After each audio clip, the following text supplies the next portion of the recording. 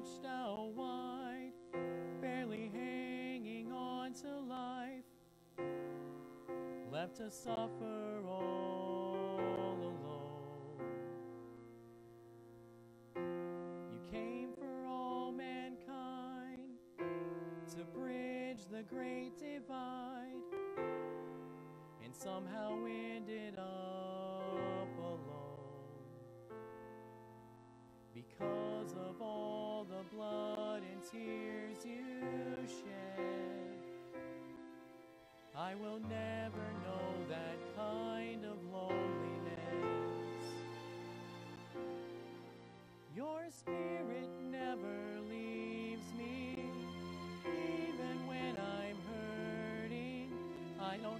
To bear that burden on my own.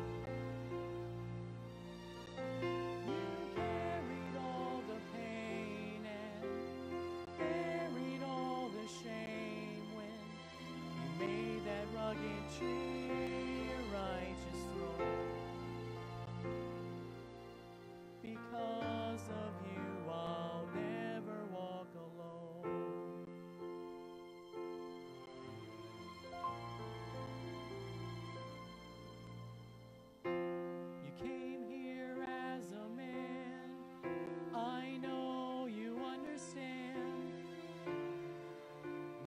like to walk these roads. But my problems don't compare to that crown you had to wear. But still, you take them as your own because of all the blood and tears you shed. I will never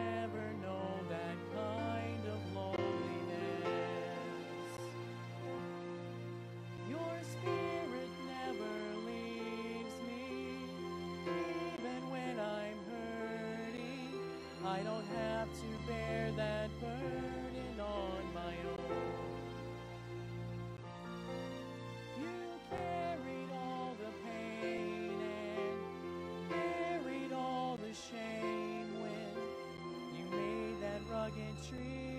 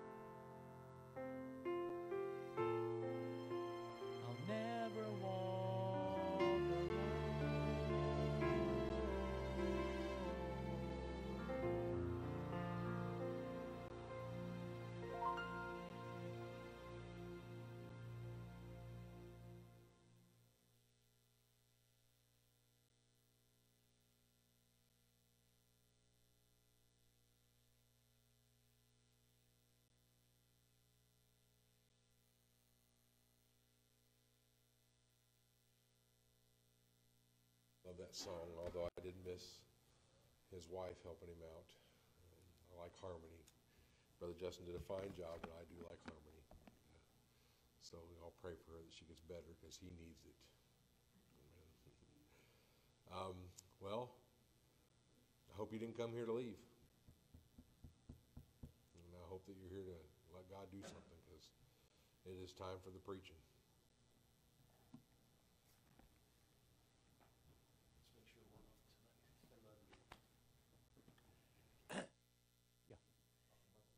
Take your Bible. Number one, Malachi 1. Good to see each of you in your places tonight. Thank you for coming out. My wife sends her best. I forgot to say yesterday to you all as a group that uh, our missions agency, we have a bank, a primary banking partner that we use, and because that bank had some changes, we had to move all of our missionaries' accounts to another bank. And so that changed her whole summer. And uh, so she is just now in the last few weeks of making that change. And that's why we changed our plans for her to stay there and do her job so I could be here. But, uh, but I appreciate so much your willingness to come out and to be here tonight. Made a new friend tonight. Kyle's here. Thank you, Kyle, for coming. Right? It's Kyle? Good. Casey, good to see you as well. Glad you're here. Malachi 1 is where we're starting tonight. We're talking about when God criticized Israel. What does that mean when God criticizes? It's one thing when people criticize us, but the authority of criticism is based upon the person who's making the criticism. If somebody in passing says something unkind to you, you can easily dismiss that and say, well, you know what? I really don't know them. They don't really know me. I can dismiss it. But when God shows up and says, This is what's wrong in your life, then it is vital that we pay attention. And in fact, what God did was He gave them seven criticisms. And now I've not shown you all of those criticisms, but I am putting them on the screen for you tonight so you can see where we're going. In the first criticism, which is designated by the word wherein, that is to say, in what way did we do that? Or they challenged God by saying so. They challenged God when God said, You've lost a sense of your love, my love for you. And they said, Wherein hast thou loved us? They doubted the very love of God. God pointed out to them last night, we saw in verse number six, that they lost their sense of his honor that was due to his name. Verse number six showed us that. Verse number seven tonight is where we'll, we will be studying in just a moment. But in verse number seven, we're going to talk tonight about God's holiness, that they actually lost their sense of the holiness of God. And when that happens in our life, and maybe I could point it to you this way I see them somewhat progressive. If I lose a sense of God's love for me, then I will readily or easily lose my sense of God's honor and then I will lose a sense of God's holiness. I see these as progressive or, in truth, regressive. They just getting worse and worse. But also, we'll see in the other whereins, as we have them here on the screen, you've lost your sense of my righteousness, chapter 2, verse 17. And what I'm showing you here is, is that in case I don't finish all this material for the week, at least you know what I would have said. You lost your sense of my righteousness. And you say, well, there's a closeness between righteousness and holiness. Yes, but holiness is his character. Righteousness, and we'll talk about that tomorrow night if the Lord wills, but that says you lost your sense of my righteousness. Then it says in chapter 3 and verse 7, they lost a sense of God's presence. They were just casual and familiar around God, and they didn't even know that they had left God. Said, You come back to me, and they said, we hadn't gone anywhere. We're still right here. They had no idea they were, quote, out on God. Then you lost, they lost their sense of obedience. And now I know that for in some cases, you feel like Malachi chapter 3 is the only verse we ever use, is the verse about tithing, and we will get to that. But it's really in the greater sense of obedience that they lost their sense of obeying God. And now you can see how the obedience part, the tithing part, fits in the whole scheme. God said, You lost your love, you lost your honor, you lost your sense of my holiness, you lost your sense of my uh, righteousness, the sense of my presence. No wonder you're not obeying. And then the last one is you lost a sense of your respect for me. And that's where we're going to go this week as you've marked those things down. You can read ahead tomorrow and find in chapter 2, verse 17, where the next wherein occurs. So God is criticizing Israel. Let's go to verse number 7 of chapter 1. Ye offer polluted bread upon mine altar. You remember last night I told you about four feet tall, this table that is there. This is where they would bring their offering to God and they would put it on the table. And they said that that table, watch what he says, you offer polluted bread upon mine altar and ye say, Wherein have we polluted thee? they had no idea that they were violating the holiness of God. And how did God tell them in response? They said, you, you know, you're losing your sense of my holiness. He said, You say that the table of the Lord is contemptible. Now, this is, this is a strong idea. Let me, let me demonstrate this idea. This is the flag of the United States. If you are an American, this flag ought to mean something to you. Brother Fred, don't I remember? Didn't you serve in the military, Brother Fred? So this flag, you, you did as well. Preacher, you did too. So this flag means something. By the way, Brother Hoff, I, I forgot, and Brother Fred was pointing to use you instead of him, basically throwing you under the John bus. So this flag means a lot. What if I came in tonight, walked over to that flag, borrowed a cigarette lighter from a church member? that was just naughty. And stopped pointing. And and took a lighter and lit the flag on fire. What's the matter? I'm going to go to prison. I thought you were going to say I'm going to go to hell. The uh, yeah, I'm going to go to prison. What else? What's going to happen? I, well, I don't know about that. I would be asked to leave this place. Why? It's desecration. Here's the problem. More y'all would be upset about a flag being burnt in the house of God than you would be the very holiness of God get all bent out of shape. They burn in the flag. I, I hate when they burn the flag. What does God feel like when you come to church with no sense of His holiness at all?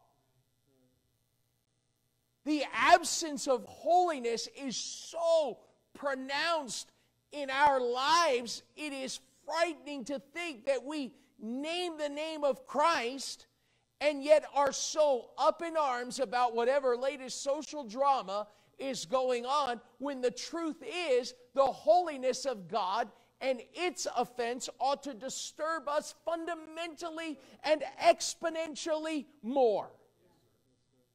God said, You're offering polluted bread. That word polluted.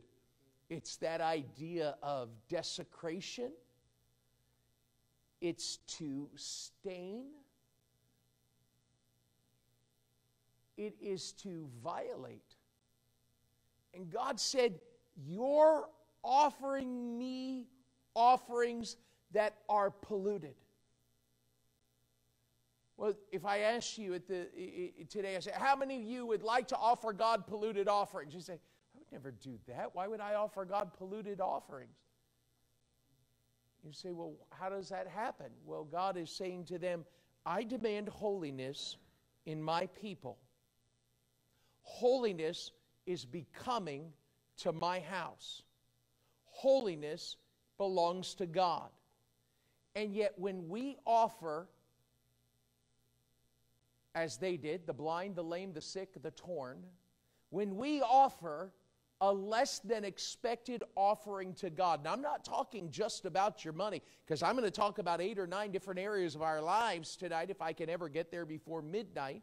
But the idea is just simply that we must consider in our lives the holiness of God.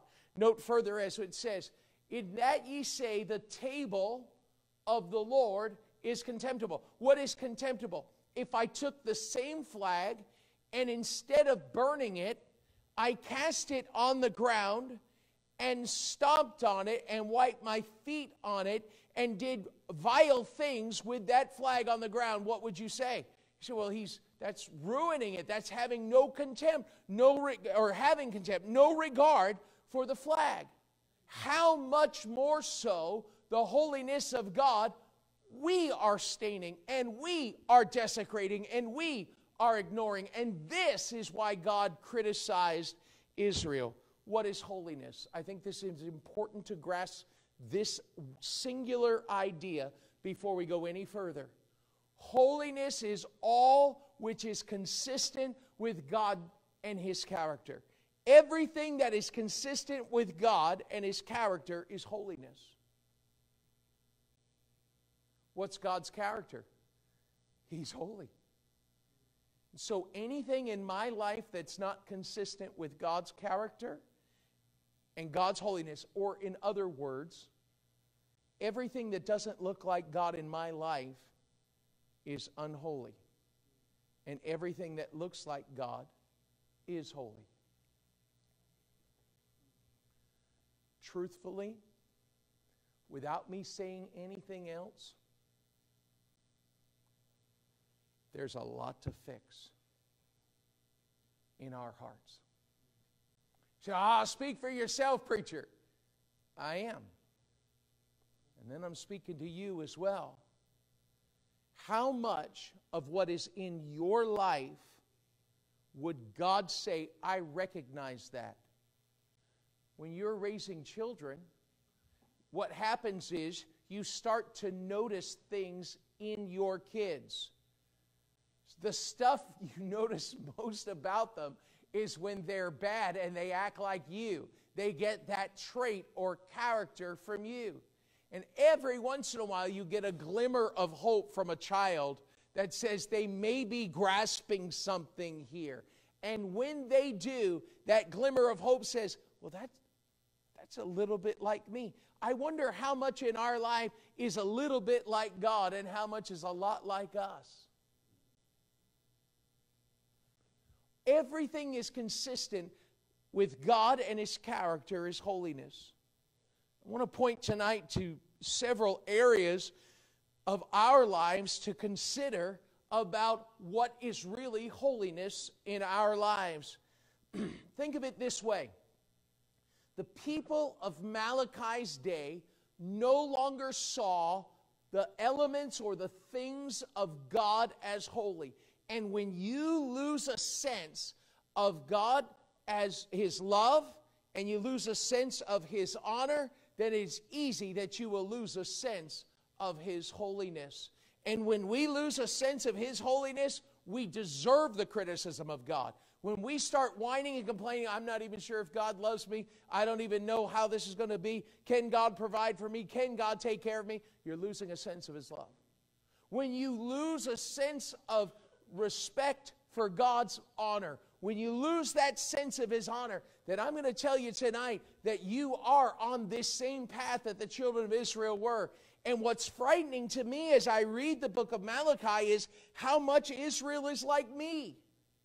This morning in my devotions, I was reading in the book of Hosea, and I was struck again with how kind and gracious and merciful God is, but yet at the same time, how mischievous Israel was, and back and forth as they were on a swing righteousness and holiness and de- desecration and back to holiness and back and forth. This is where we are. We're seemingly on a constant swing. Here's what happens. Look at verse number seven. Watch what he says, or we'll start in six from last night.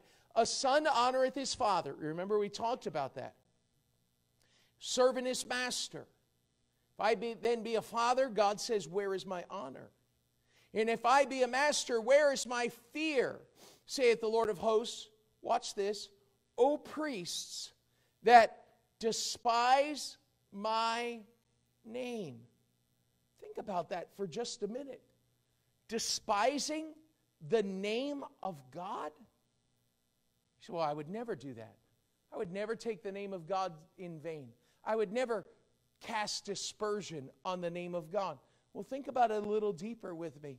The priests, they were the spiritual leaders, and they were the one who were just despising God's very name. What is the name of God? Oh, the name is the name that is above every name, the name that at the, every knee will bow and every tongue will confess that Jesus Christ is Lord. It is at that name. The Father, He is the everlasting Father, the Prince of Peace. He is God. And God, as God Himself, the priests were just despising the very name of God. His name had no authority in their life. They had no permission to speak in their life. They did and lived their life their own way. Every time we live our own lives, our, our lives our own way, we are despising the very name of God.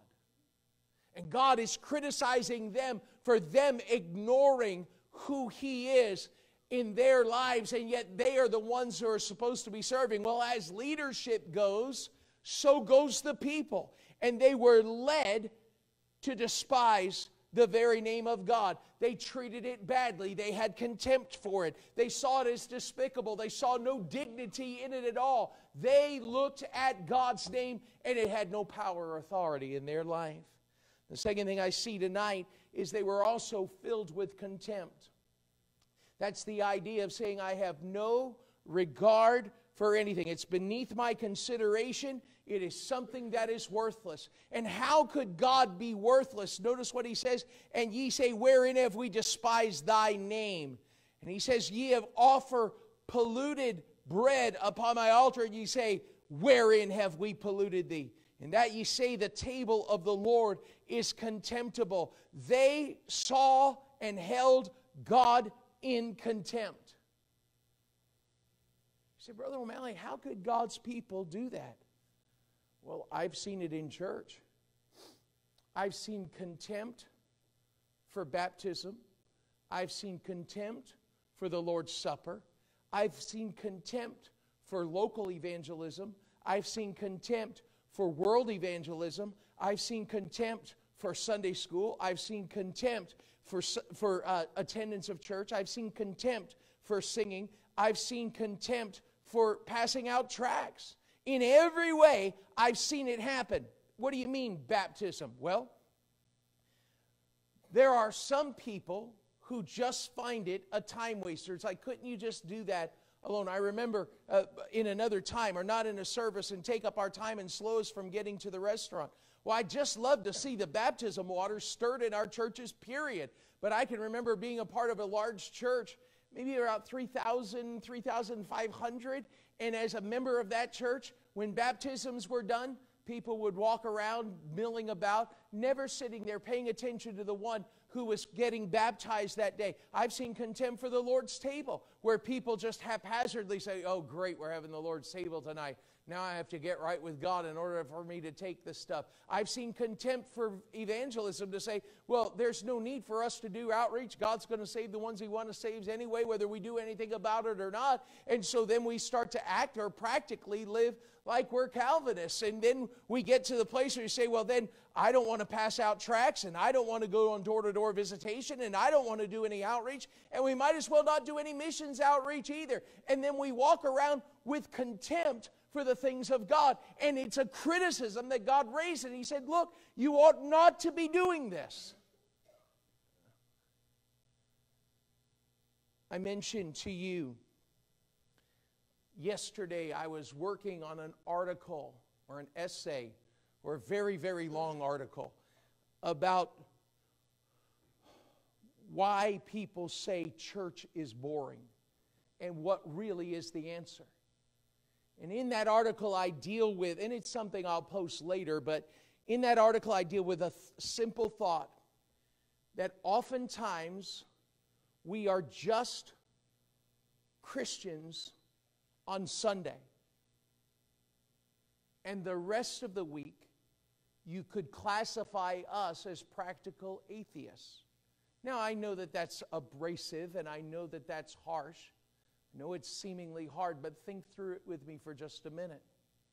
If God's holiness has no influence in my life at the house, and has no influence, holy, his holiness has no influence on my life in the workplace, and it has no influence when I'm alone, and has no influence when I'm in a group of people, and has no influence in my life, then practically you're just living the Christian life on Sundays and Wednesdays.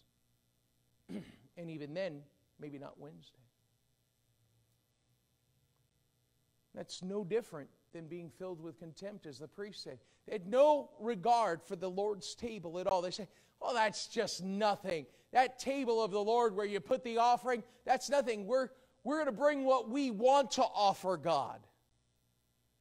That's a, that, that doesn't mean anything. And these are the priests. That doesn't mean anything. And the people, it's easy for them to say, well, those, it used to be holy, but now it's not holy anymore. And if we move the goalposts or we change the rules of the game. We have no authority to do so. You can't change the rules that God set. He said, This is what I expect. He said, Don't give me the blind. Don't give me the lame. Don't give me the torn. Don't give me the sick. And if that's what you're offering, then you're saying, I have no respect or regard for the things of God. Church attendance. Now, I can't holler at the ones that aren't here because they can't hear me. That means I can only holler at the ones that are here. And you are here, so there's no reason to holler at you. But there's something about church attendance and our level of contempt for God. This is His house. We are His people. There ought to be something in our lives that brings us here. And I ought to want to be with the people of God when they gather. Not forsaking the assembling of ourselves together as the manner of some is. Paul said to the Hebrew believers, Don't set aside or neglect or ignore the things of God. This is what was happening. Notice what they the, the priests were offering the polluted, not the poor, that which is stained and dirty and unwanted by God. God deserves our very best. They offered the worst and not the best. They had stained hands and stained hearts and their words were stained. Everything about them in verse number seven says they had no regard for the things of God, they had no regard for what God wanted and the ways of God and the Word of God. They had no regard for anything. I don't want to live that life. I don't want to live the life without I am staining the holiness of God. Because when I do that, then there's this gross inconsistency between what I say I believe and what I actually believe. And this is wrong. God criticized Israel. We have a whole book, and I remind you yet again God will give these seven criticisms through the, the ministry of Malachi, whose name means messenger. And he will give this message to Malachi. Malachi will deliver the message and say nothing for 400 years. Seven criticisms. And tonight we're talking about how God's people lost their sense of holiness. Tonight, as, as we talk about this, I want you to see what we are polluting. I hope you can see that on the screen or the wall behind me here. But as I watch in our modern services and in our churches, we have a sense of defilement. We are defiling the house of God and our this idea of a ritual or a moral defilement of who we are as a people against the holiness of God, that we are staining ourselves. Remember where Daniel said, I will not eat the king's meat. I will give a dip, I want a different diet that I can follow, so I will not take part of what he is offering. There is that distinction or that separation. Separation is not an old idea, sorry, separation is not an old fashioned idea, it's the mark of holiness of God, where we pull back from those things. Uh, when I say old fashioned, let me say it this way where some people will refer to a, a traditional way as old school. Holiness is the original old school and it's not out of date and it's not out of fashion and it's still expected by God. And so, if you and I are going to live our lives consistent with who God is and His character, all that God is and His character, then by all means there ought to be a distinction between us and the world. These priests were defiling the temple of God, or the house of God, the temple of God, and the things of God. They were disturbing the holiness of God. They were desecrating the holiness of God. Then you think about who are we as believers? Well, we're the temple of God. The Spirit of God is in residence here in us. And if He is in residence in us, then everything I say, He hears. Everything. He even knows the thoughts and the intent of our heart. You say, Well, I didn't say it, but you thought it, and he still knew it. God sees what your eyes see. God goes where you go. What you allow to entertain yourself is what you're doing with the Holy Spirit. You're bringing the Holy Spirit with you to see, hear, and experience what your flesh wants to see, hear, and experience. You say, Well, I would never be like the priest who defiled and offered polluted bread. You're the temple of God. He dwells in you. He wants us holy. Whatever you allow to entertain you is what you're willing to accept. Whatever you allow to amuse you is what you're willing to experience in your mind. I can tell you of people who thought they could control their pornography, and they couldn't. Pornography viewing is violating the holiness of God. Adultery violates the holiness of God but so does your gossip and bad attitude as well. You say, well, don't lump me in with that. God lumped in together adulterers and witch people who practice witchcraft. They all get lumped in. They all, if you read chapter 3 and cha- uh, chapter 3 and chapter 4, you'll see they're all put together there. God wants his holiness protected and seen as sacred. Let's talk about some of the practical ways of God's holiness that we ought to be considering. Number one, I want you to think about how God's holiness ought to be at play in our regular day to day living. These are the people, God's people. And if we're not careful, our living can pollute the holiness of God. When we offer God not the pure, but the polluted, not the, not the expected, but the defective.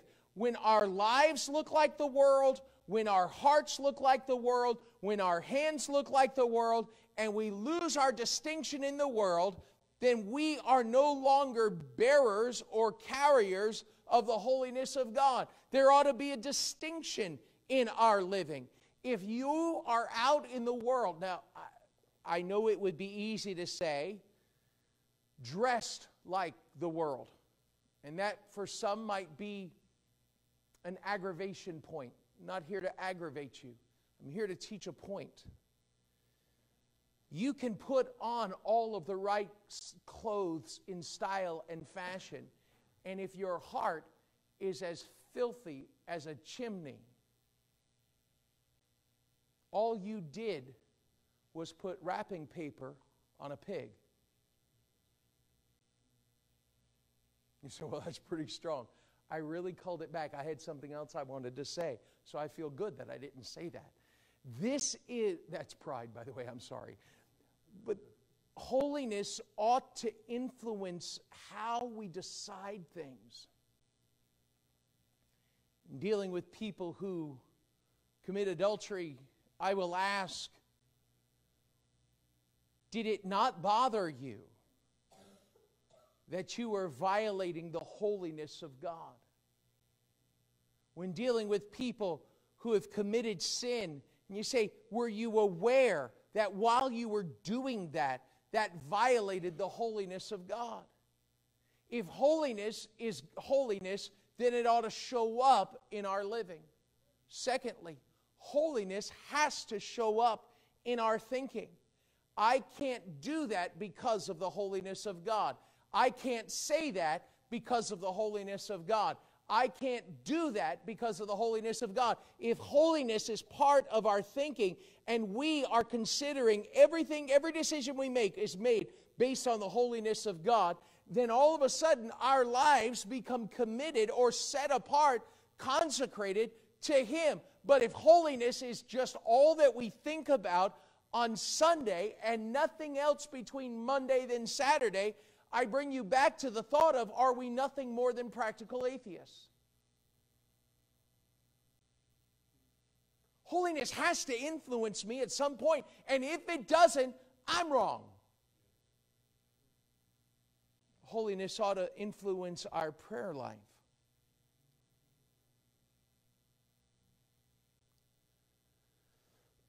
what I'm going to say is going to seem offensive. And I'm not afraid of being offensive if my motive is right. And in this, my heart is right. My motive is correct. When, oftentimes, when we pray, we don't really think about what we're saying. We just repeat the phrases we've heard. And then after about 30 seconds, we're out of words to use because we really don't talk to God. If I understood to whom and with whom I was conversing or speaking, my conversation with God would change. I would think about what I'm saying. I, and again, this is no, I have no malice in my heart as I say this. Oftentimes, when we pray over the food, it is just a set aside time to go through the motion. You could probably finish the prayer by me starting the phrases that we weave together to make possible our prayer to bless the food, right? God bless the food and the Hands that prepared it. Whoa. It's kind of like going to a fast food place and placing your order, and you're saying the stuff, and they're not listening to the stuff, and you're not talking to each other, you're talking at each other. In the same prayer, you could say, in the offering, you could say, God bless those who give and those who don't have to give heard the same phrase. And, and again, it's not critical, there's no malice in my heart. I'm just saying, in our prayer life, if the holiness of God was truly at work in our thinking and in our living, then I would realize I am communicating with the one who created everything I see. And it ought to influence how I speak to him. I think our prayers ought to be sincere. I, I don't need, I don't think we need flowery prayers. I think we just need sincere prayers. I think we need prayers that are affected by the holiness of God, that realize, oh, wretched man that I am. The kind of prayer from Isaiah when he said, that my, my lips are corrupt, my whole being is corrupt. Nothing, woe is me, for I am undone. I am a man of unclean lips. I dwell amongst a people of unclean lips. There is nothing good about me. And what would change in our prayer life if we truly recognize the holiness of God when we spoke to Him? Now, I know you'll, you'll say, well, boy, I don't ever want to pray when Brother O'Malley's in the room. It's not me you got to worry about. You're speaking to God. He criticized the priests, the leaders, and said, You, you're the ones who've polluted. I think we bring pollution in our living. I think we bring pollution in our thinking. We bring pollution in our prayer lives. Fourthly, I believe we bring pollution in our homes.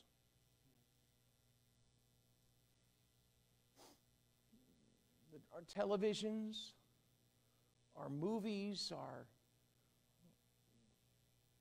streaming television, our internet. All of these bring a main line to our home of things that are not holy. I'll never forget, I had an older preacher say to me, John, if you're going to watch two people become physically connected with each other on screen, it is the same as you inviting them into your home to do that on your couch while you're sitting there watching them. Wow. It's quite a statement. What do we tolerate with our entertainment that violates the holiness of God? I think that we've polluted our homes. We polluted our prayers, prayer life, and we polluted our thinking and we polluted our living and we didn't even realize it. Yet we'll look at this passage and say, Those sorry priests, how could they do that to God? And then when you put this practical holiness involved in our lives, now mind you, holiness is not something I do to please God or to win or curry favor with God. Holiness is who He is, and I'm His child, and I ought to look like my dad. And when we bring pollution in the home, what happens? We're hurting our homes. Then there's pollution in our marriages. Oh my. If we're not careful, we can allow bitternesses to become so great in our lives, they begin to create a, a canyon or what we'd say a chasm between the spouses. Until all of a sudden, you're so far apart when you, as fellow worshipers, ought to be embracing the holiness of God. The absence of holiness in our marriages are evident by the way that we casually deal with each other and carnally deal with each other. Holiness is missing in our marriages. Holiness is also missing in our conversations. Oh my goodness. Listen how we speak to each other. And please allow me to press further into this and say to you watch how you speak online if you're using social media. It's amazing how emboldened people become behind a keyboard and say things they would never, ever say to someone's face.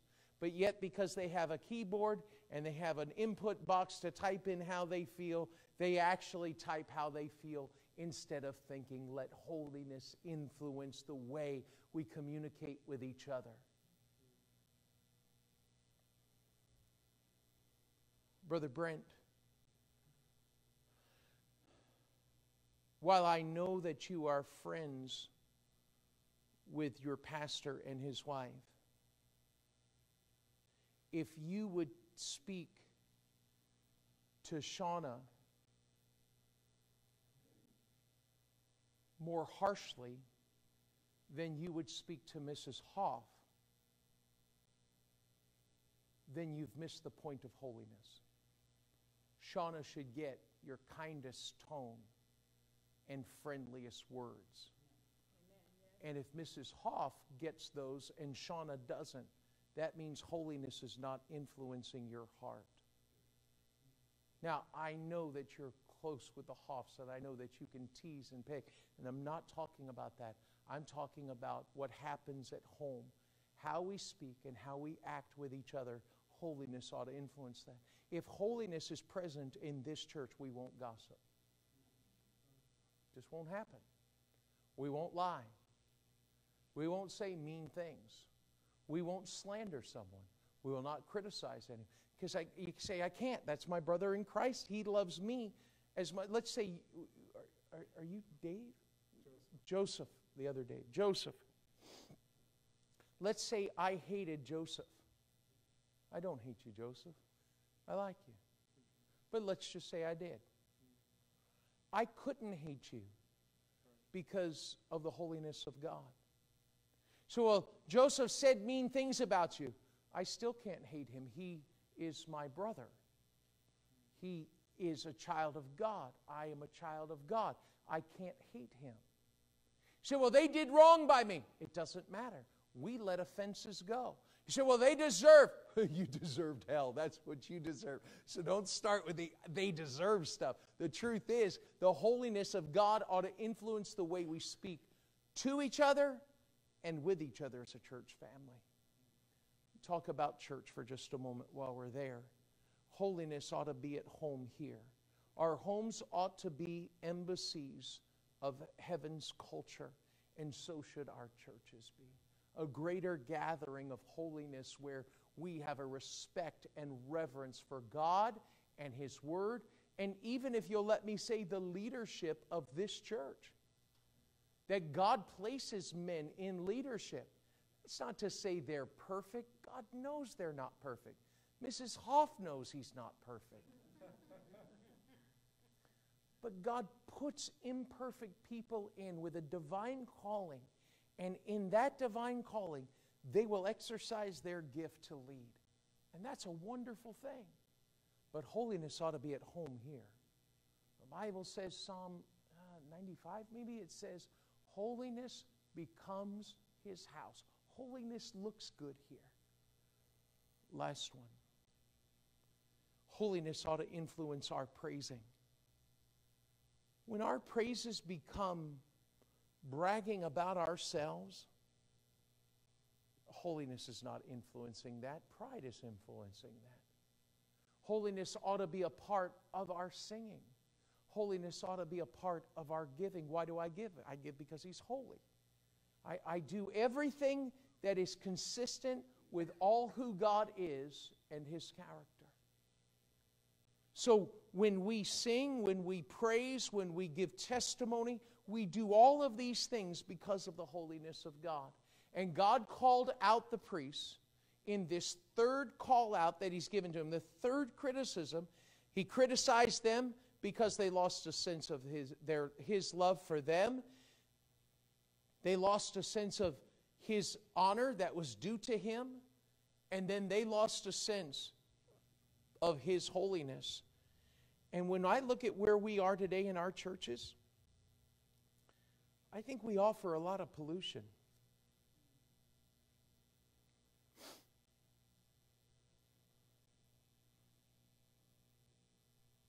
And I think we ought to stop. Pollution. How much of what we offer God is polluted? So I don't like that question.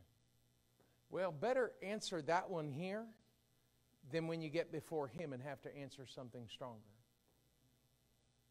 So, Brother O'Malley, are you holding yourself up as saying you are the example of following the holiness of God? No. But I sure want to. Not want to be the example, I just want to pursue His holiness. And there are some days I do real well, and other days, eh, not so much. And there are some days I think, oh, this flesh, it doesn't want, it wants to stain the holiness of God. And tonight I'm asking you to consider how much of what your spiritual life is, is influenced by God's holiness. The best thing that looks good in this, we know that God inhabits the praises of his people. But you know what looks good in God's house? It's this very thing. All that it, God is and is consistent with his character. How much of holiness is influencing your thinking, your living, your prayer life, your marriage, your conversations, this church, your praise life, how much of holiness is influencing you, and how much pollution are you dragging in here every week? Would you stand with me?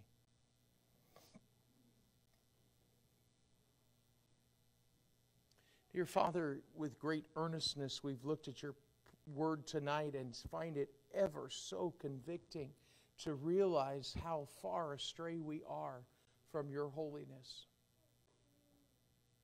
We're casual in our conversations with each other and never once considering holiness. We're abrasive with people and even in our own marriages, and we become to the place where we are filled with staining and desecrating your very holiness. It's so easy to criticize the priests of that day. Yet we look at ourselves and we realize we're a mess. Father, bring us back to the place where holiness influences our living, our thinking, our praying, our homes, our marriages, our conversations, our churches, our praises. In every single way, dear God, I ask you that we will be a people who will not pollute your house nor pollute your holiness. Mark begins to play, and some have already here, I urge you to pray.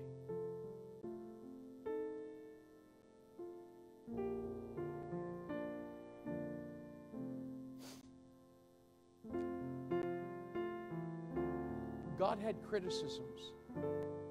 They were real, they were right.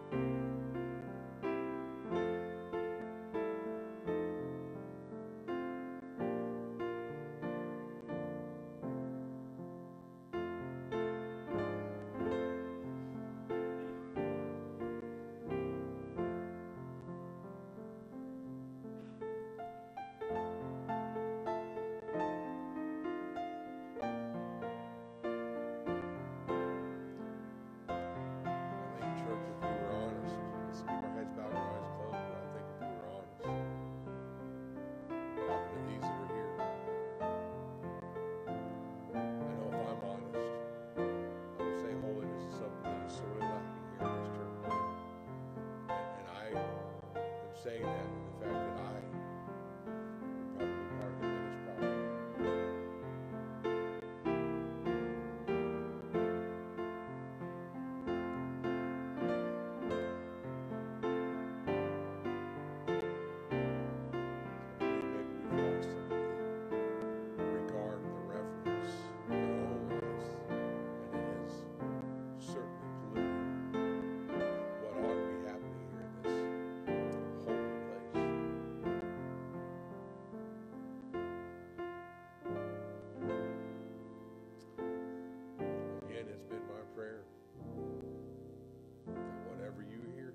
resonates in your heart. And I hope God continues to answer that prayer in my heart and in yours. Appreciate you being here. Hope you can come tomorrow night. If you're listening online, I hope you can be here tomorrow night. Brother Mark, would you ask the Lord to dismiss us, please?